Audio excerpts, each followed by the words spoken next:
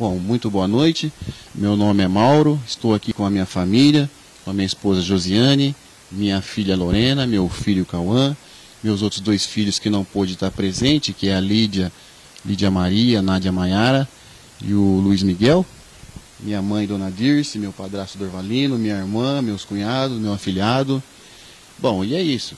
Eu tô no comércio há 23 anos, na luta, né? Por ser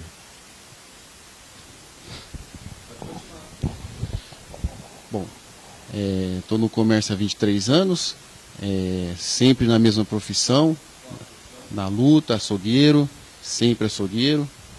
É, me dedico o máximo né, para que o patrão sempre é, observe o meu trabalho, para continuar sempre com, com continuidade o que eu faço, porque o que eu faço é com prazer, com muito orgulho e tenho prazer no que eu faço. E a família é uma estrutura que não tem igual. Se não fosse a família, eu acho que eu não estaria onde que eu estou, né? Porque a família é um alicerce na, na vida da gente, na carreira da gente, né? E é uma importância muito grande ter o apoio da família sempre ao seu lado, porque a família é o, é o alicerce de tudo, da onde começa tudo.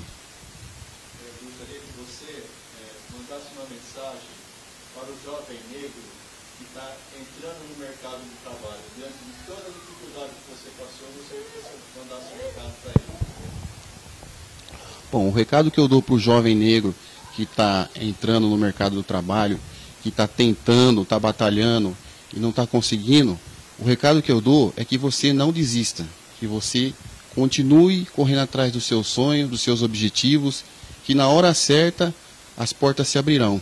Na hora certa tudo vai acontecer, igual aconteceu comigo. Às vezes uma porta pode fechar para você e outras dez atrás poderão abrir. Então, o que eu falo para o jovem que está começando agora e está tentando, não está conseguindo, não desiste. Não desiste nunca e corra sempre atrás do seu sonho, que será alcançado.